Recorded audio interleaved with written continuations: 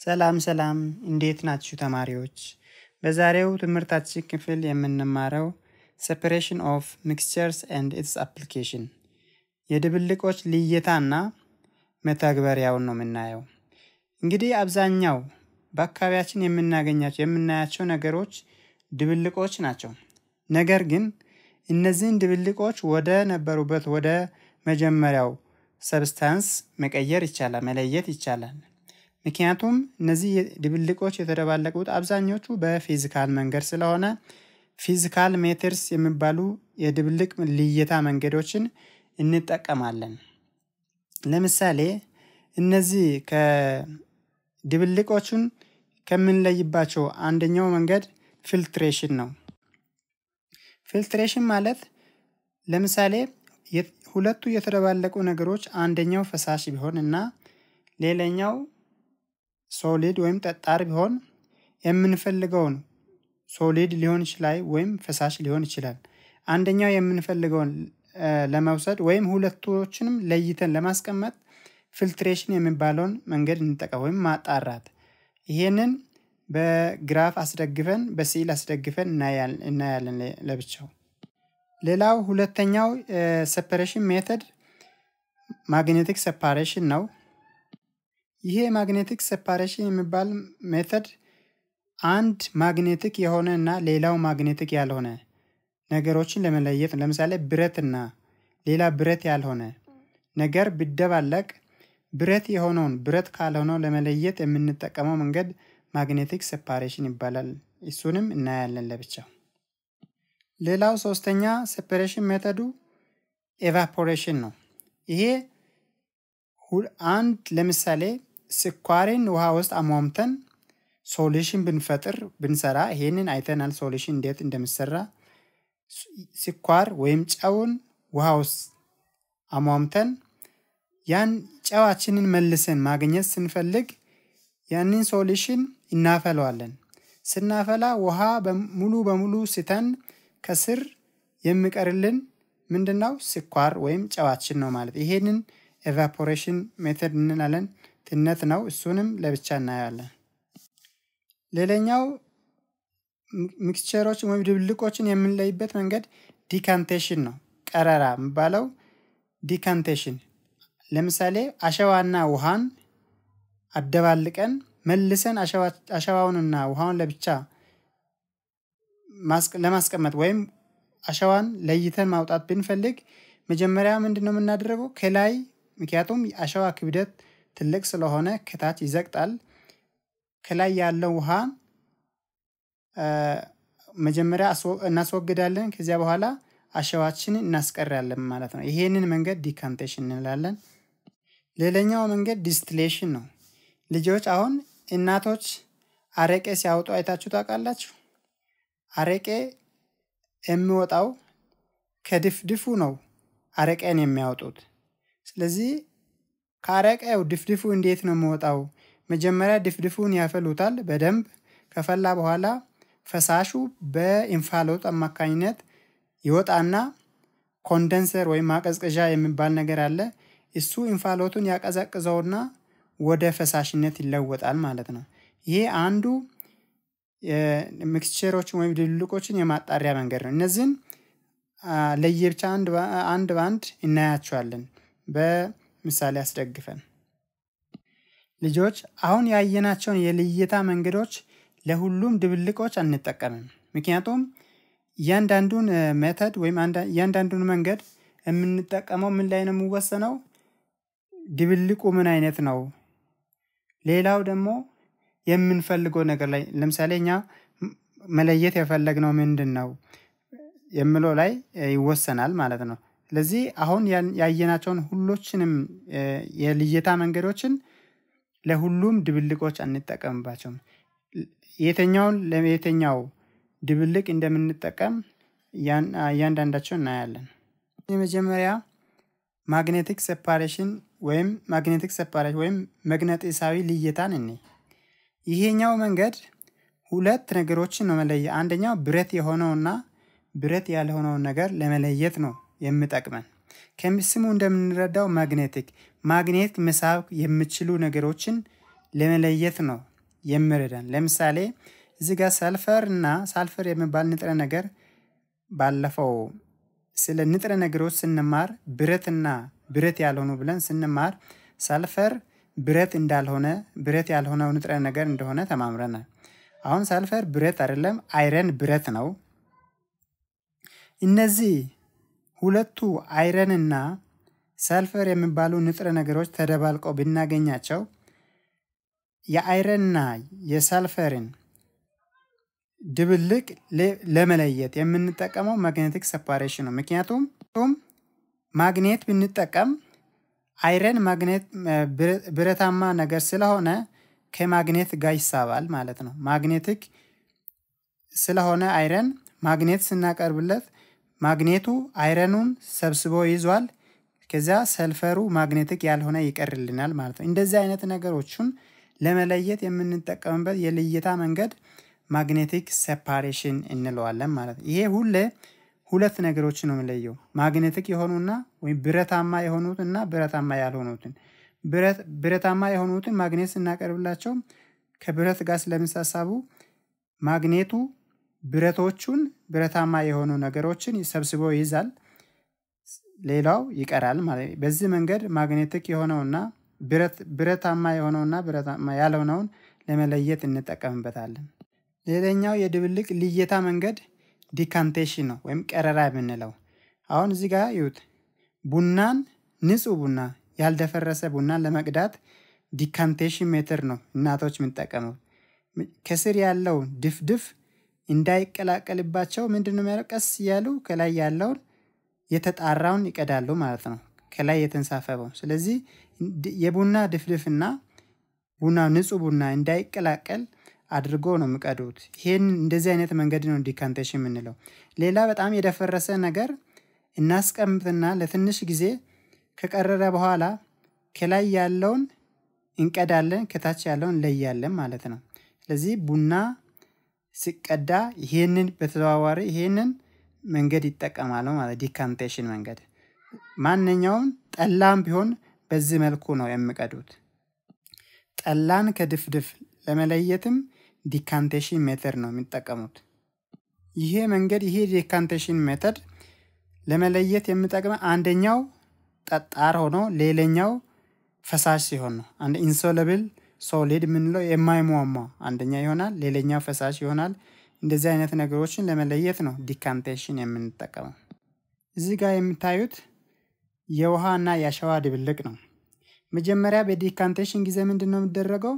ድብልቁ እናስቀምጠውና solid የሆነ ወይም ጠጣር የሆነው settle እንዲያደርግ እንፈቅድለታለን።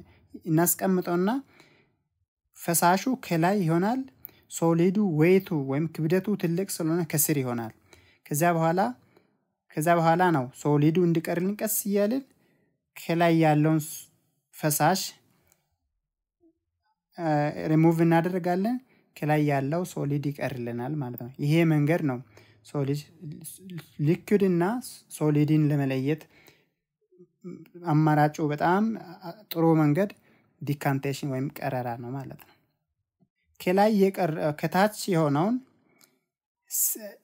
ከታች የቀረውን እዚህ ጋር ከስር የቀረውን sediment እንላለን። process ኡን sedimentation የምንለው መጀመሪያ ድፍድፉን ወይም የውሃና የአሸዋ ድብልቅ ሊሆን ይችላል፣ የቡናውም ሊሆን ይችላል። ቡና ልክ እንደፈላ አይቀዳም አይደል? ለተወሰነ ጊዜ እንዲቀመጥ ይደረጋል። ይህንን process sedimentation እንላለን። ምክንያቱም ድፍድፉ ከስር ሆኖ ያኛው የምንፈልገው ቡና ከላይ እንዲሆንልን ወይም እዚህ ጋር የምንፈልገው ውሃን በቀላሉ ለማስወገድ አሸዋን ለማስቀረት ለተወሰነ ጊዜ እናስቀምጠዋለን። ይህንን process sedimentation እንላለን። ከስር የቀረውን sediment እንለዋለን ማለት ነው። ይህኛው decantation process solid ን ከ liquid ወይም ጠጣሪን ከፈሳሽ ብቻ ለመለየት ብቻ ሳይሆን ፈሳሽንም ከፈሳሽ ለመለየት እንጠቀማለን። ለምሳሌ ሁለት የማይሟሙ ነገሮች ለምሳሌ ውሃ ዘይትን አያሟሟውም፣ ዘይት ውሃውን አያሟሟውም። አንደኛው ከስር ይሆናል፣ ሌላኛው ከታች ይሆንና ሁለት layer ይሰራል ማለት ነው። አሁን ለምሳሌ ዘይትና እዚጋ ዘይትን ይዩት፣ ውሃ አለ። ሁለቱን shake ብናደርግ አይደባለቁም። ምክንያቱም የዘይት density ትንሽ ነው፣ የውሃ ትልቅ ነው። ስለዚህ ትንሽ density ያለው ከላይ ይንሳፈፋል፣ ትልቅ density ያለው ከታች ይሆናል።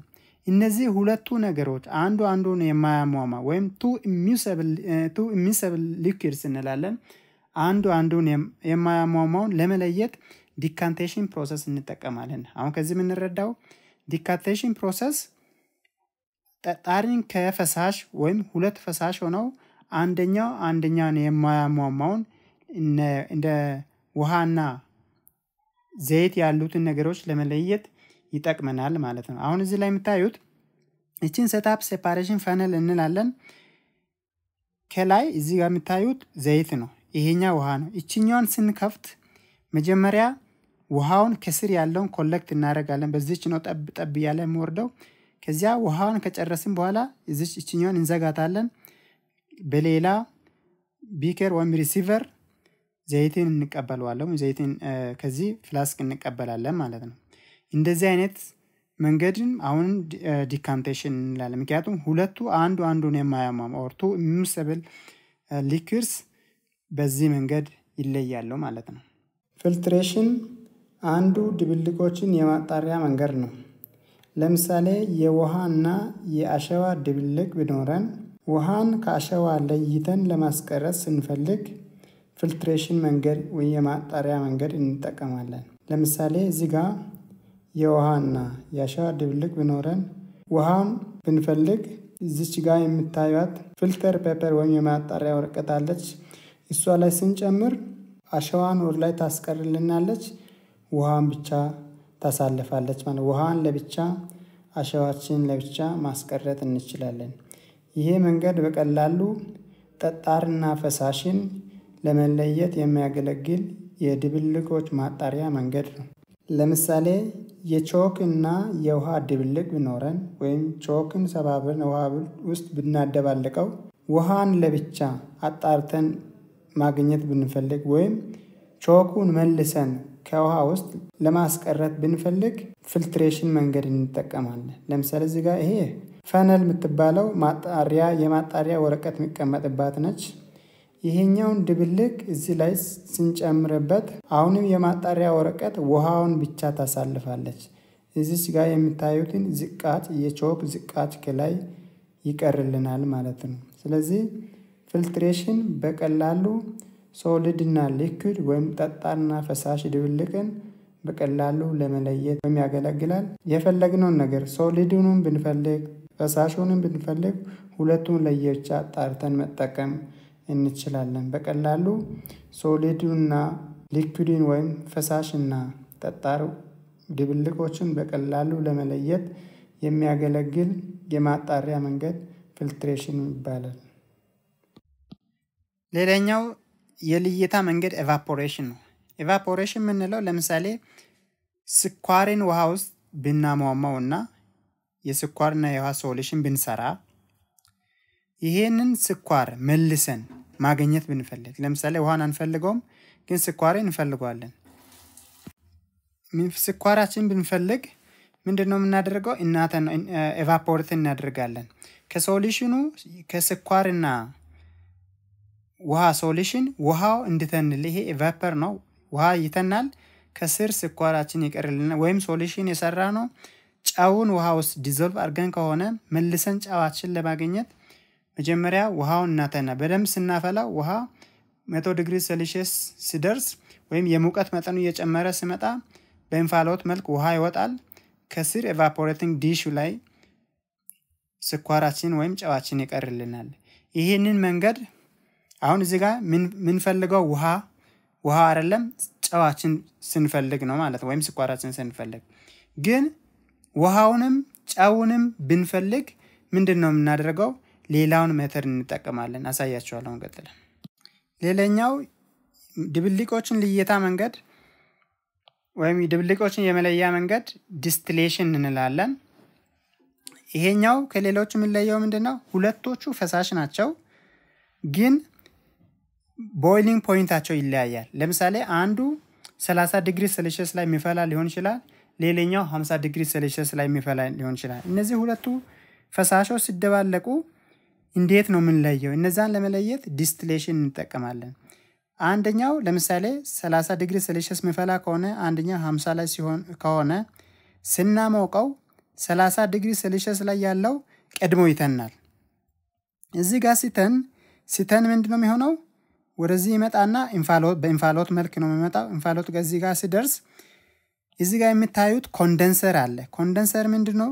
በዚህ በኩል ውሃ ከ tap ኡ ወደዚህ ወደ condenser ኡ ይገባል። ሁለት layer ነው ያለው። በውስጥ በኩል ያለው ሳይሆን አንደኛው cover ነው የሚያቀዘቅዘው። በዚህ ውሃ ይገባና በላይኛው ይወጣል። እንፋሎቱ እዚህ ጋር ሲደርስ በእንፋሎት በኩል ይደርስና እዚህ ጋር condenser ኡ ጋር ሲደርስ እንፋሎቱ ወደ ፈሳሽነት ተለውጦ እዚች ላይ እንሰበስበዋለን። ምክንያቱም እንፋሎቱ እዚህ ጋር ሲደርስ condenser ኡ ወይም ማቀዝቀዣው ያቀዘቅዘዋል ማለት ነው።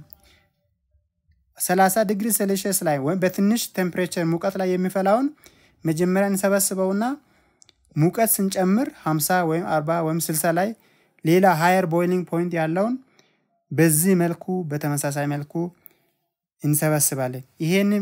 ይሄ ነው አረቄ የሚወጣበት መንገድ። እዚህ ጋር እናቶች ድፍድፍ ያስቀምጣሉ። ከዛ ኃይለኛ temperature እዚህ ጋር እሳት በጣም ይነዳል። ሙቀት ሲያገኝ ከዚህ ከድፍድፉ በእንፋሎት መልኩ አረቄ ይወጣና እዚህ ጋር ይደርሳል። እንፋሎቱ እዚህ ጋር ሲደርስ በ condenser አማካኝነት ወይም ይሄ ይችኛ ቦታ በጣም ቀዝቃዛ ነች። እንፋሎቱ እዚች ጋር ሲደርስ ይመለስና ወደ ፈሳሽነት ይመለሳል። በዚህ መልኩ ሁለት የተለያዩ ፈሳሽ የሆኑ ድብልቆችን መለየት እንችላል። አሁን በዚህ መልኩ ሁለቶችም የምንፈልጋቸውን እንለያለን ማለት ነው። ለምሳሌ አልኮልና ውሃን ብናቀላቅል መጀመሪያ አልኮሉ ቶሎ ስለምፈላ አልኮሉን እንሰበስባለን። ከዚያ በኋላ የሙቀት መጠኑን እስከ መቶ ዲግሪ ሴልሺየስ አድርገን ውሃውን እንሰበስባለን ማለት ነው። ስለዚህ በዚህ መንገድ ነው mixture ኦችን ወይም ድብልቆችን መለየት የሚቻለው።